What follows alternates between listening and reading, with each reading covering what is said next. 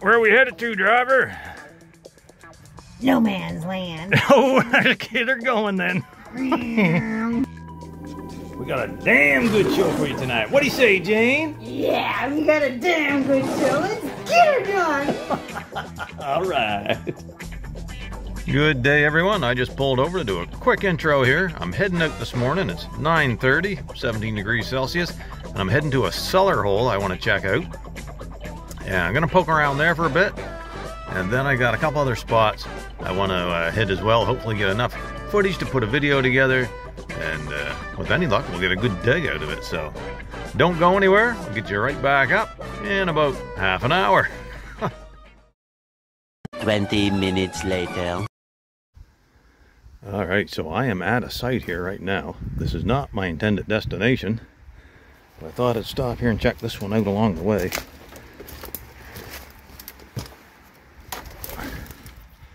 Look at this old stonework. I do have my detector with me, so I want to do a little bit of detecting around here. And my shovel. We'll see if we can do a little digging. If I get anything interesting, I'll get you back up on. If not, we'll see you at the next site. All right, folks, I'm right along a shoreline. The shore is just right down through there. I think you can cut that whitish area there is water. I'm right on a ledge here. Cellar holes up over that way. And I got some shards down in here. Look at that.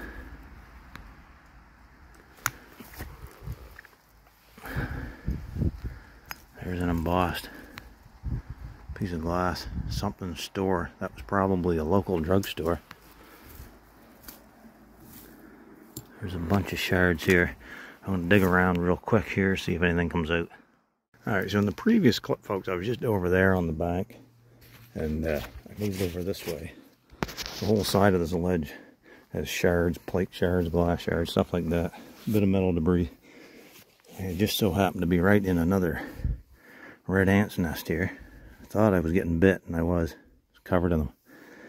So, I dug around, I pulled this here out. It's a little rifle shell. There is lettering on it, so I'm going to put that in my pocket, I'm going to take it and see if it's 38 long, I think it says.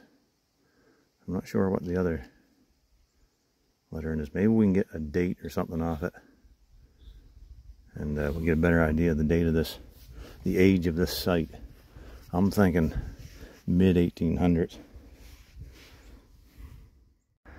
So I just pulled up this big mass of moss, and it's got oh, like chicken wire or something all in it. And underneath, I see there is something here. A few little things. Look at that.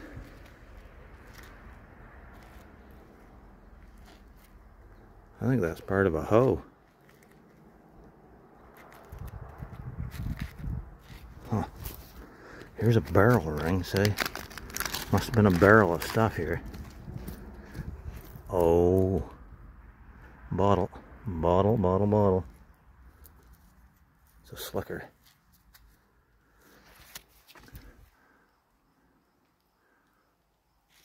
I might keep that just because it's from this site the first time I located this site, I got one bottle out of it. And it was a Mexican Mustang oil. And that was way down over the other side of the knoll here. Was digging around. I didn't even realize there was stuff on this side.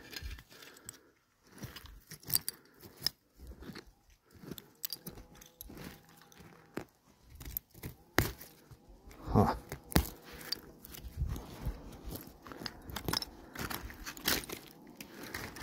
Alright, I'll get you back up if anything else comes out.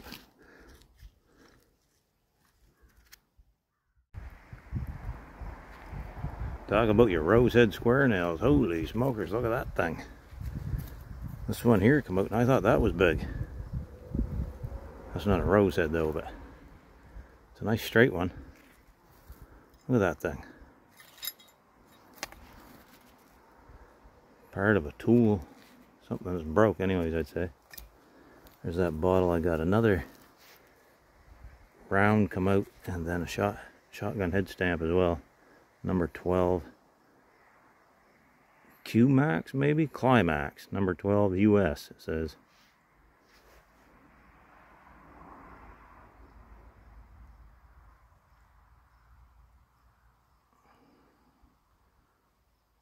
All right.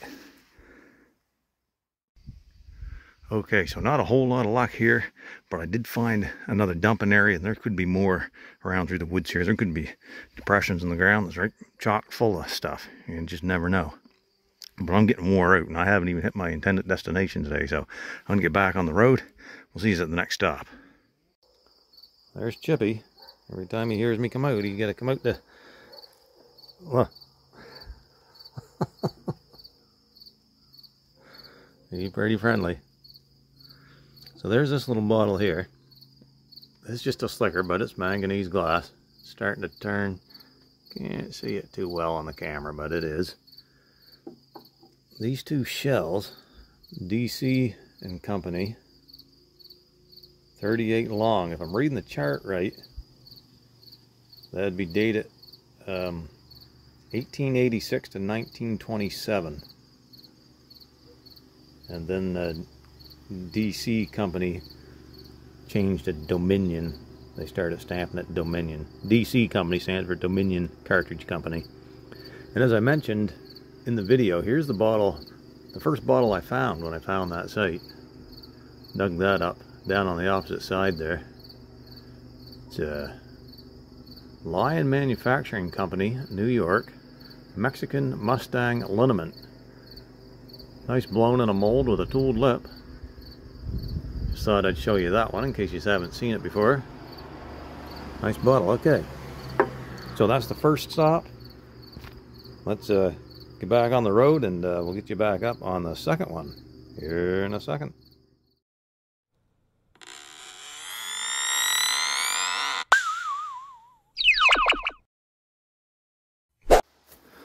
Okay, viewers, I'm now at my intended destination for today. And by that, I mean it's just a it's a cellar hole that I, I want to come back to and just check out to see if it's something I may be able to dig. May not get much digging done today if it is able to be dug, but I want to check it out just the same. See if it's something I can come back to. The last time I was here, which was a couple of years ago, I was detecting around it. I found a couple old pieces, lots of glass on a rock property line. But uh, nothing really complete, so everything was broke. I'm gonna get back, I'm gonna get in there. Uh, I'll get you back up in a bit. All right, so I'm at the cellar hole here now. Really not much to see. It's quite large though, and it's quite deep. Rocks are all pushed down in. I'm not really sure where to start. I'm just trying to get the layout of how this thing was formed. It looks like there might have been an entrance into the cellar over there in that corner. I suspect this is the back of the house over here. That uh, stone wall, rock wall runs down that way through the woods property line. So anyways, I'll poke around a little bit here. I don't have my detector with me at the moment. But this grass all looks like it's too long anyways to do any detecting in it. So we'll see what pops out if anything does. Or if anything doesn't, I've got another spot I'm going to go check out as well. Okay, as you can see, I'm right down in the cellar hole here now. First signs of stuff just started to come out. There's that and this here manganese glass. I just moved this big rock out here, here out of here and just sort of beating around, beating away the uh, surface here. So we'll see if anything else comes out. Next item, some metal item, and it is an old hoe head. All right, so we may be onto something. There could be some stuff in here. Let's keep going. It's the only way we're going to find out. Okay, so I'm out behind the cellar hole now towards the back of the property. Along by that stone property line. Just right over there. Lots of glass on it. I just dug out this button. And it does look like there's writing on it. I can't make it out.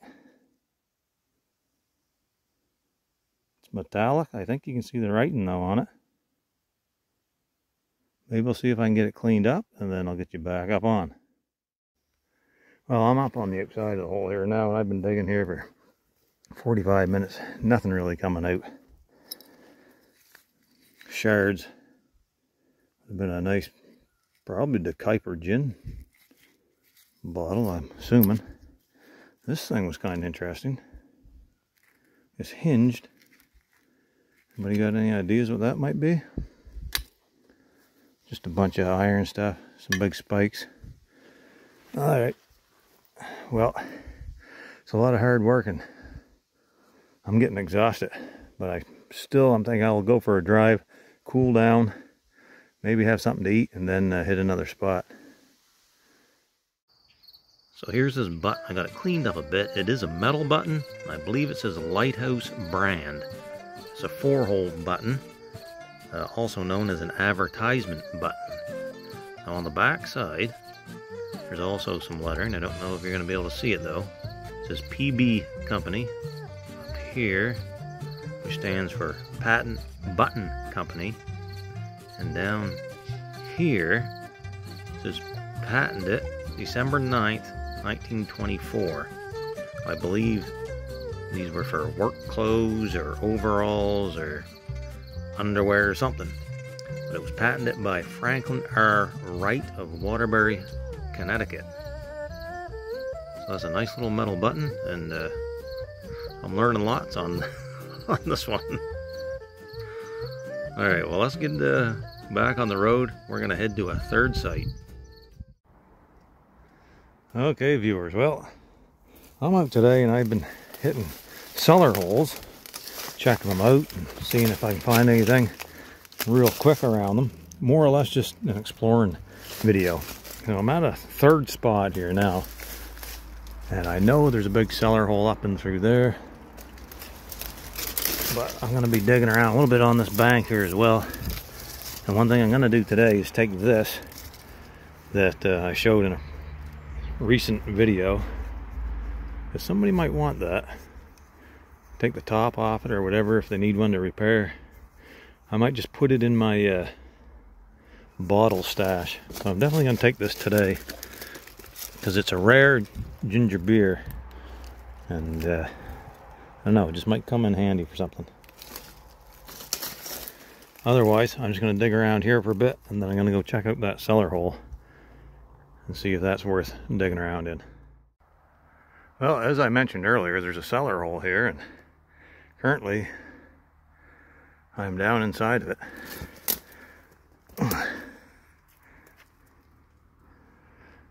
But the bushes are so thick, it's near impossible to do anything down here with any effectiveness. I can't even swing the shovel. kind of scraping away there underneath there, but nothing's really coming out.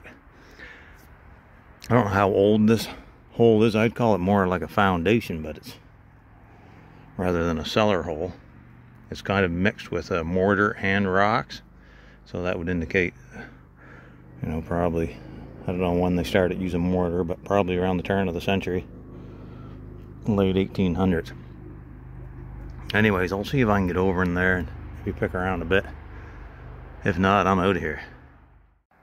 Alright, so I was just right over there in the previous clip. I made my way over to here and I just discovered this is extremely deep. Look at this hole. That's another two and a half, three feet down to the bottom there. This is a mound of uh, wood and stuff here. I'm assuming from when the house must have collapsed or burnt. So everything I'm walking on, this isn't actually the ground, it's debris, house debris. Right, I'd never, that'd be a while, wouldn't I, digging that down to the bottom? Holy jumpins. Yeah, I'd have my work cut out for me. Well, once again, folks, no luck at this site. Loads of old shards, but nothing complete. So I'm going to get out of here and head to another site. And it might be the last one for today. I'm not sure which clips I'm going to use from today or what order they might be in. But I'm just gonna try to get a bunch. See you on the next one. 11 minutes later. Well, I'm here at another old cellar hole. Weird shaped one. Kind of like a, a Z shape. Comes over and down and over this way. Check this plate out I just scratched up. New Brunswick 1931 license plate.